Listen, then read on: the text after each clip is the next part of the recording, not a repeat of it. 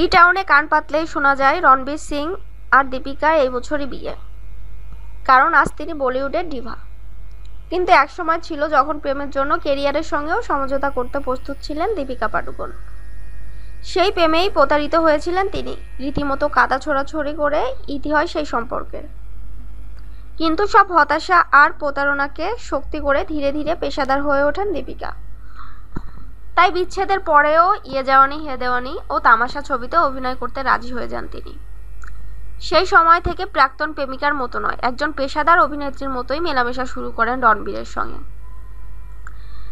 কিন্তু স্মৃতি কখনোই মুছে যায় না। প্রকাশ্যে রণবীর কাপুরের সঙ্গে হাসি ঠাট্টায় মেতে থাকলেও ভিতরে যে ক্ষত তৈরি হয়েছিল তা আজও রয়ে গেছে।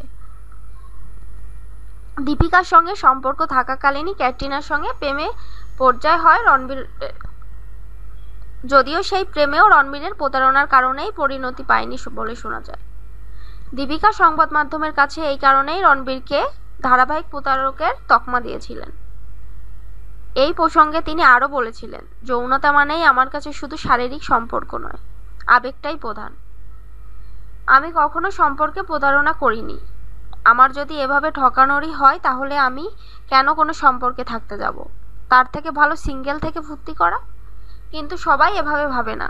আর এ কারণেই আমি কষ্ট পেয়েছিলাম। রণবীরকে বিশ্বাস করে যে তিনি রীতিমতো অনুশোচনা করেন, সে কথাও সংবাদ মাধ্যমে কাছে বলেছেন দীপিকা তার কথায়, আমি খুব বোকা ছিলাম, তাই ওকে দ্বিতীয়বার সুযোগ দিয়েছিলাম। আমার কাছে ক্ষমা চেয়েছিল, কিন্তু অন্যরা বলতো ও আমাকে এখনও ঠকাচ্ছে। তারপরে আমি ওকে হাতা, হাতে নাতে ধরি। আমার সম্পর্কটা থেকে বেরোতে সময় লেগেছিল। দীপিকা এক সময় নিজেকেই দোষী ভাবতে শুরু করেছিলেন বলেও জানিয়েছিলেন। রণবীর নানা অজুহাত দিতেন সম্পর্কের অবনতির কারণস্বরূপ। দীপিকা এই প্রসঙ্গে বলেছেন, ও যখন প্রথমবার আমায় ঠকায় তখন ভেবেছিলাম আমার মধ্যেই গলদ রয়েছে, কিন্তু ওটা ওর স্বভাব ছিল।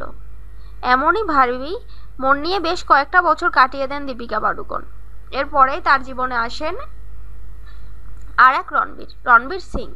আপাতত বি টাউনে কান পাতলেই শোনা যায় রণবীর সিং আর দীপিকার এবছরেই বিয়ে। অন্যদিকে রণবীর কাপুর এখন মজেছেন আলিয়া ভাটের প্রেমে।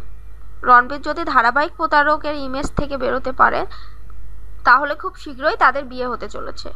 ধন্যবাদ। চ্যানেলটি সাবস্ক্রাইব করুন। আর বেল আইকনে ক্লিক করতে ভুলবেন না।